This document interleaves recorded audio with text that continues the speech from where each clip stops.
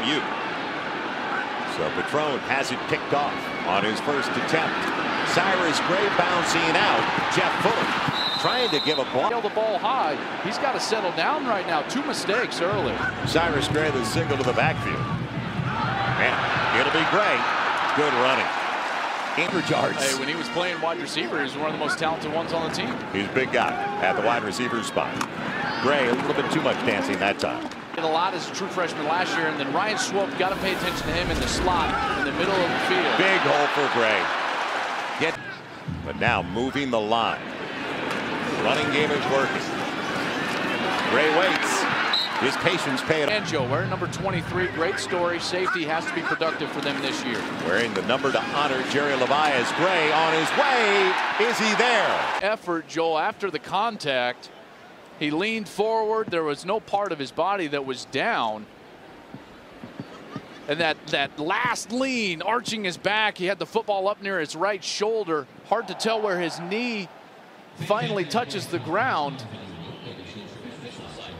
It's going to be hard to overturn that call, in my opinion. If there's not conclusive evidence, is the knee down there? No. See how he arches his back, Yep. keeps the legs off the ground? How about that run? How about that body control? The guy's laying all over him. So all in SMU territory. A short field once again. Cyrus Gray. Didn't run himself out of the plays. He just slid tempo. It's a tempo offense. They want to get a lot of snaps every game. Gray trying to bounce outside. Pretty good stiff arm for a first down. Away. He's an experienced guy. In the eye. It'll be Gray. He's in. Touchdown A&M. Three. Bunch formation on the wide side. Gray going that way. And weaving his way with a flag. Looks like it's coming back. That was a good throw by the back. Dark boy, first and 20. You got to avoid that. It's all the way back to the 15. Here comes with he wants a middle screen. Gray with a good grab. But dropped and loses. He led Conference USA in tackles. He was seventh best of the nation.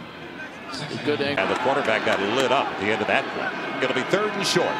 Tannehill on the short drop. Here comes he from the backside and incomplete. Side receivers for the Aggies here.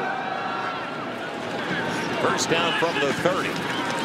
And Gray cut off the pass, but it takes more than one, doesn't it?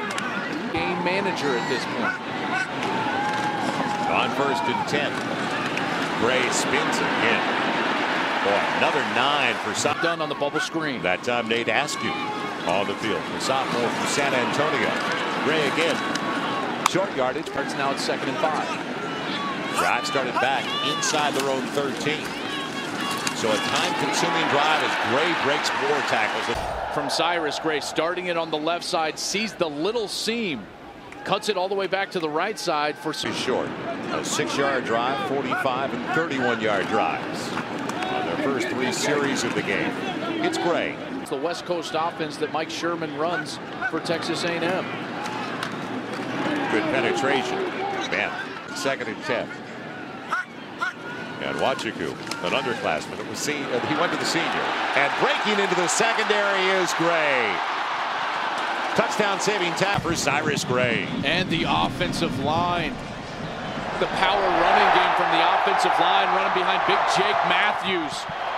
Now on the first possession of the second half it started back at their own 20. Little late is Michael on the field. Flag on the play. Christine Michael out there that late. A little bit of a smile, embarrassed smile on his face. Bouncing back is Gray after the five yard. Second and goal. The motion man. Seal on that side. They can get it. Gray loses it, but it goes right to Jeffers A&M Aggies. Cyrus Gray. Oh, Boy, doesn't quit on any. So Tannehill after the short game. A draw all the way for Cyrus Gray. He's into the secondary. Spins for another first down. And